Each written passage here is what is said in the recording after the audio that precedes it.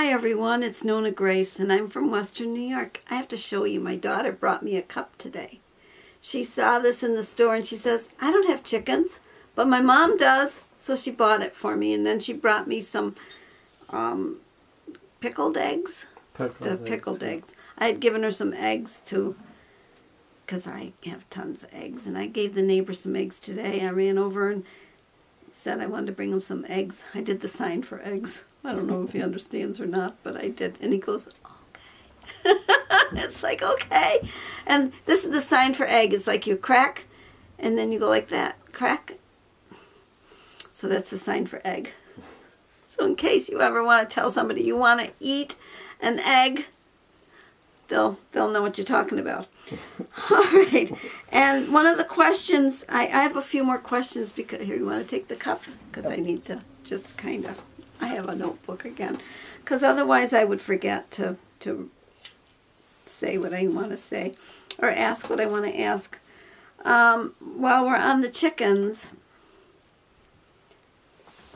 we'll go see the chickens. Today I brought Mr. Brown outside, and this is how you do it for a little while. They were all around her earlier. Hi, Mr. Brown. She doesn't like it in there. She's kind of anxious. But the other hens have, are leaving her alone right now because they are used to her being in there. This is what I do. I put Mr. Brown in here. She was taking a dust bath and I give her water. She has had chicken scratch. No, you have to stay in there just a little longer. I did give her a shield to give her some shade. Hi, pretty boy. You know, they mentioned your tail, pretty boy. You do have a very long tail. That very long feather, he has lost it once that I know of. I have it in the house.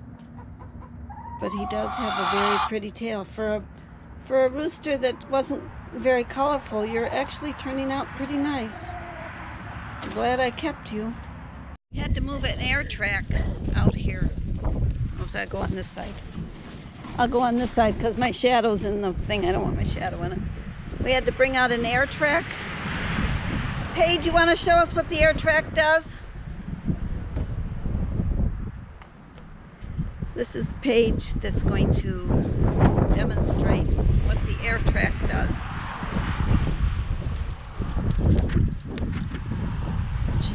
Very good.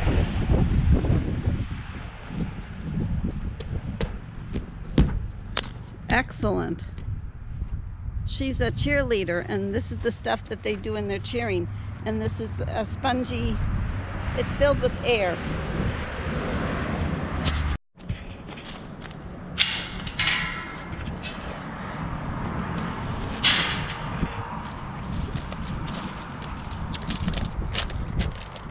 I heard pounding and I came out to see what's pounding.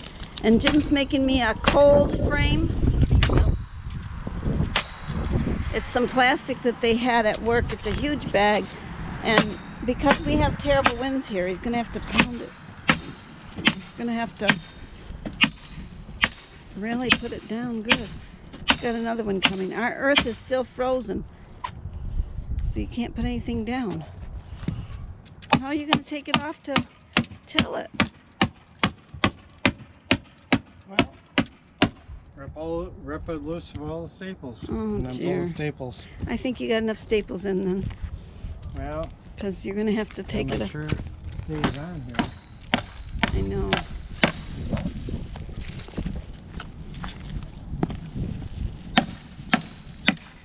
I was not really watching in my camera. I hope I got stuff.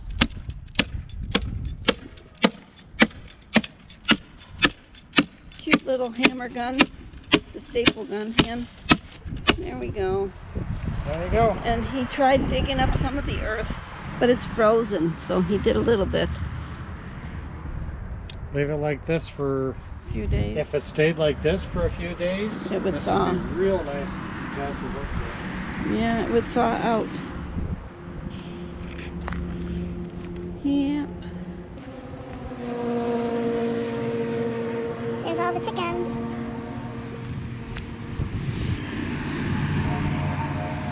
They're enjoying the weather.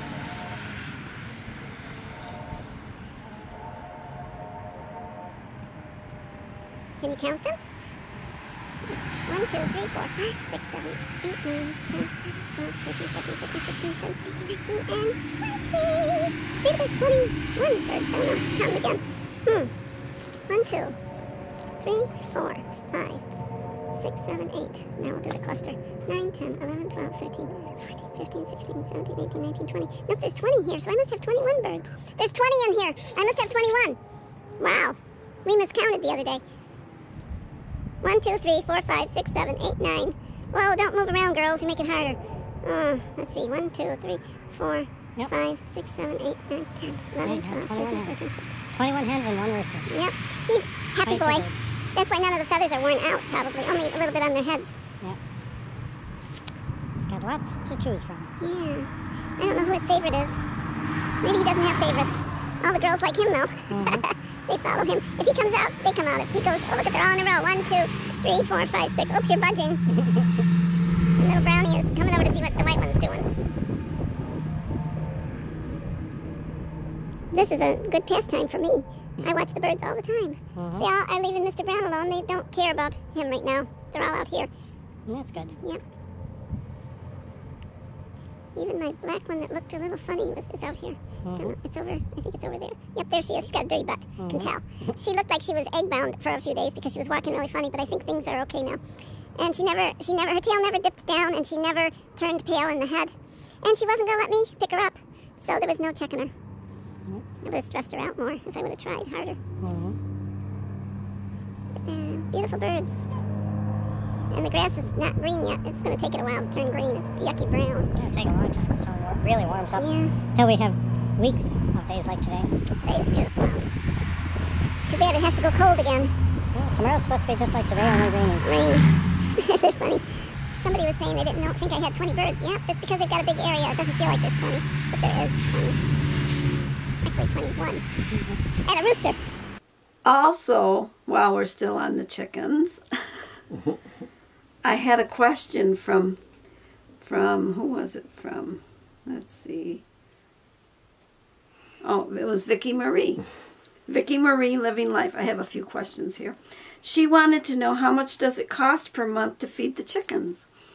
Well, I don't buy every month because I will buy like 3 or 4 bags of the scratch or the feed and a mm-hmm. bag of scratch and a couple bags of corn because in the winter I give them corn so things stay warm. But it's approximately $16 per month that I'm spending on the chickens. It might be in the summer, in the winter, it's at least that. In the summer, it might be a little less because they go out and they forage. They look for Yeah. stuff. I don't have to give them the corn. I will just give them the pellets. And I sometimes give them cat food because cat food has a lot of protein in it. But in the summer, they usually eat the bugs. And their yolks will start to get really orange again. Because in the winter, they get a kind of a little paleness to them. Even though they've got a dirt floor and they can dust bathe. And they do get a few bugs there, but nothing like they do when they're out foraging. They they don't get the sunshine either. No, they don't get that either. Cheryl from Desert Diva, she wanted to know, knowing what I know now and today, what comforting message would I tell myself? And it has to be something I worried about. And now I realize it was no big deal. and I had, was talking this over with Jim, and I, I said, you know, I used to worry that I was never going to get married. When I was single, girls were usually married by the time they were 22, and if you weren't married by the time you were 26, people stopped asking because now they figured you're going to be an old maid. Well, I was 28 when I got married. And I worried that I was never going to get married because that was the census of the world around me at the time. But little did I know, I had to wait till Jim grew up.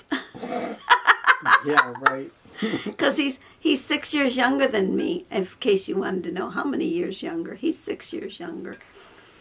So when I was 28, he was 22 when we got married, and I had a lot of comments that were put in there that people have been married like um, 11 years or 40 years or 40 I think one of them was even 45 or 46 or 47 years I can't remember now well Jim and I have been married 40 years and one of them Actually, it will year, be 41 it'll be 41. yeah but it's Yep. 40 right now Yep.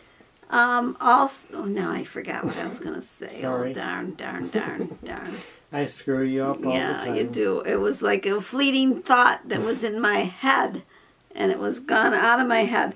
It had to do with um oh i remember. It was it had to do with dating. Like there was one that mentioned that they met and they proposed like two weeks later and then they got married. I guess it was really short after that or maybe within three weeks or something. I can't remember exactly what i read but i know it was very short. Now jim asked me we we went out but we used to just see each other. Oh and i had that question too. How do we meet? Might as well go there. Um, that question was by simply pam. She wanted to know how we met. She knows that we told it before but she couldn't quite remember. So pam we met roller skating. And um, we used to meet every wednesday for roller skating. And one wednesday jim picked me up and I, I didn't know he was coming. And i says well if you're going to take me you have to take my sister because i always drive my sister. And so we used to we used to go skating every wednesday. And then he wanted to know if i ever went on friday and i says mm. no like are you crazy? is the my way i probably answered because mm. friday was the wild crazy music and all the kids were there. I never go on friday. I used to go on wednesday saturday and sunday because they had organ music and i was i was a dancer. I could do a lot of the fancy roller skating stuff and when i met jim he couldn't even pick his feet up and I, and a lot of people thought that i taught people how to dance and do the roller skating but i didn't. I was just i dated a guy well before jim that was actually a competitive skater and so i learned a lot from him even though i never competed. So that's how we met. We met roller skating. Also um, gloria lagroon i wanted to say her name right. I wrote it down. Lagroon she wants to know um, a little bit more about our wedding and so i'm going to try to put some pictures in i don't know where they'll be if they'll be Oh, they'll probably be at the end. I'll probably put them in the end. And it will be just a few pictures of the bridal party and my maid of honor and Jim and his best man. And it, I think that, and it might be just Jim and I and a picture of me. I'm I can't remember. You're the most important one. Yeah, yeah, know. yeah. Um, but anyways, it will. You'll see those pictures and that because she was hoping that maybe I could put some wedding pictures in. And those are from the wedding album that I have. It's a very small one. We had Jim Zerzniak was our photographer. I remembered um, his name. Mhm.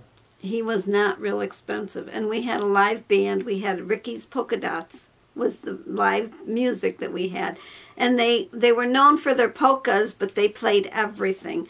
And at my wedding, or our wedding, it was my wedding. I, Yep. I, It's all you. That's all me. I planned it, and Jim just kind of went along with whatever I planned. Um, I wanted the, to do the Tarantella, which is an Italian dance, and so we did the Tarantella. And luckily, the band, the, the Polka Dots, they knew the music for it, so they played it. And you know, in the in the movies, you always see the big old bowls of peanuts on the table and the and the shells all over the floor and that stuff. Well, we had the big bags of the peanuts that were in the shell, and that was part of our tradition, I guess. or- We well, we had cookies too. I didn't make the cookies. I hired the cookies made because I didn't want to make cookies. I don't like to bake. So I did bake my did the- cake. you did do the cake. I did do the cake. I did bake my own cake, which saved us a lot of money. But we, when we got the pans, I had to get the Wilton pans, and the only place to get them was in Buffalo. Now you can buy them at Walmart, but I had to travel to get them.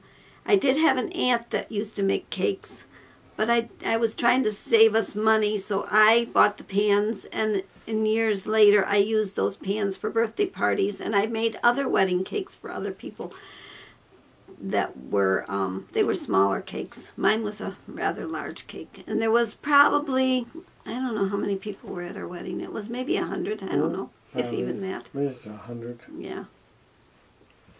And it was just an Italian wedding. It was a fun. We had a fountain with the wine, and there was beer. So we didn't have an open bar because it was well, it was an open bar for that part. It was Yeah. beer and wine because we're not drinkers, and there was no hard liquor, so that was not a big cost there. So that was my wedding, our wedding. I keep saying my wedding. It was yes. Okay, I did Cheryl's question. Oh, what would I tell myself? I never finished that. Nope. Whoa, sorry about that, Cheryl. I will tell you. Oh, yes, I did sort of finish it. I Mm, said I was afraid I was going to not get married. That was Yeah. the answer. And I did get married.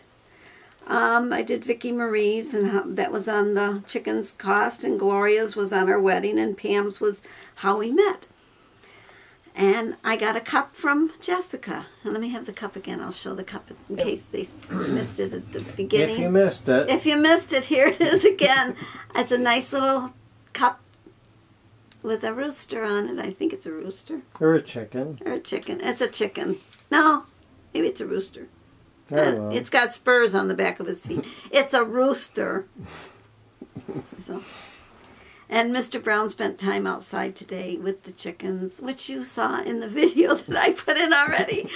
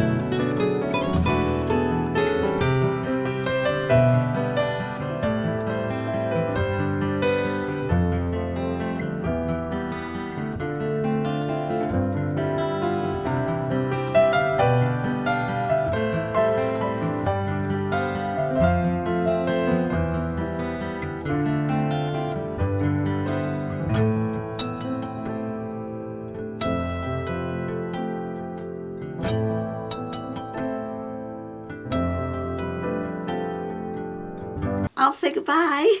Bye. Oops, this hand. Bye. Bye.